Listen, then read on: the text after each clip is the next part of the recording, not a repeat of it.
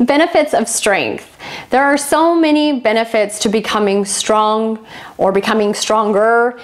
Not only do you physically develop, you look better, you feel better, but you also are maintaining strong, healthy joints throughout your life.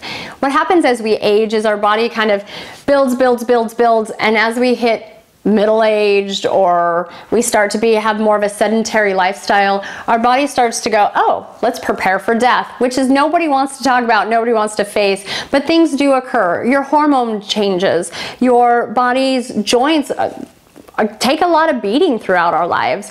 And so the benefit of strength and keeping the muscles around every joint strong throughout the full ranges of motion is your joints are going to take less of the hit from our daily lives and your muscles are going to help protect the use of that joint and the mobility of that joint. Also, your, your metabolism will stay stronger and faster if you have more muscle mass on your body.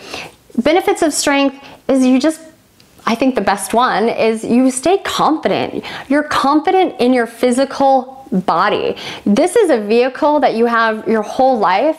And when we start to doubt its ability and go, oh, I don't really want to jump out and go play with the kids at the park, or I don't really want to do that because I don't, you don't want to be embarrassed, or you don't want to be a fool, or you don't want to be huffing and puffing going up the stairs because you're embarrassed or ashamed.